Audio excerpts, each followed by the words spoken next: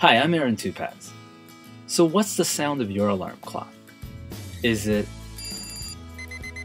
Well, what if I said it could become the foundation of your success?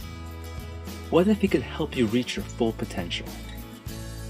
Then I want to introduce you to an ongoing and evolving project of mine that I call the Infinite Loop System.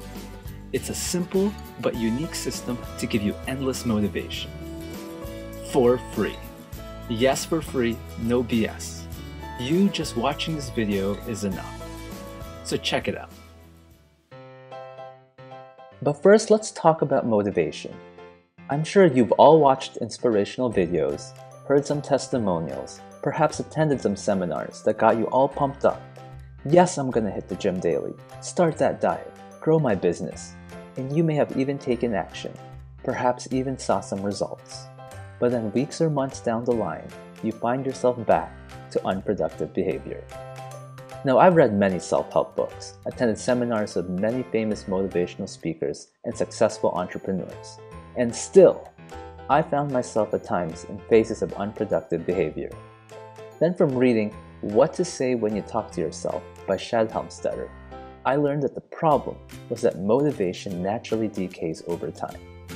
Now, before reading the book, I came across a quote that said, Watch your thoughts, they become words. Watch your words, they become actions. Watch your actions, they become habits. Watch your habits, they become character.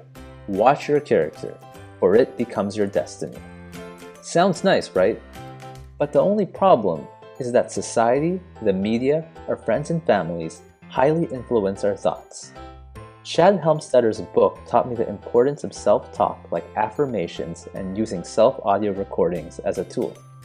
It taught me how to reprogram my thoughts. Then I also read Noah St. John's The Book of Afformations, which taught me to ask empowering, positive questions. So I spent a lot of time creating audio recordings for working out, eating healthy, time management, you name it. And they did work. But then there were days something out of the ordinary would happen. My schedule would be thrown off and I'd forget to use them. And then some days they just got too repetitive and boring, or I would just simply be too lazy to listen to them. Before I knew it, I was back to doing mindless, unproductive things.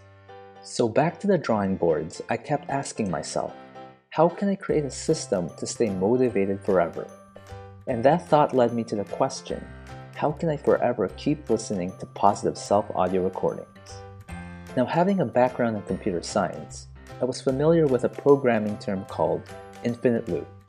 It means a sequence of instructions that loop endlessly and never gets terminated. In other words, something that never ends and just keeps going and going. I then asked myself, what's the one thing that's consistent in my day to day life routine? Was it eating breakfast? Taking a shower?